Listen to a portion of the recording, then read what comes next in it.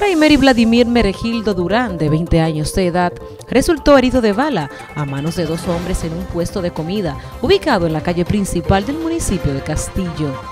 Familiares de la víctima ofrecieron detalles de lo sucedido. El hijo mío fue a comprar cena antes de acostarse. Entonces, eh, estaban discutiendo por el turno de que despacharan a uno primero, a otro, ¿entiendes? Entonces a mí me, me dijeron como que ellos estaban, se metían en discusión ahí, no sé si llegan a tener, a agredirse. Entonces el otro muchacho jaló la pistola y le disparó por eso, por ese inconveniente. No, no se conocían ni nada, se juntaron ahí ese día que él fue a comprar cena para irse para la casa. Sí. Eh, todavía no tenemos nombre exacto. No sé cómo se llama. Esperan ustedes entonces de las autoridades de la policía? Que lo agarren y que hagan justicia con él. Claro.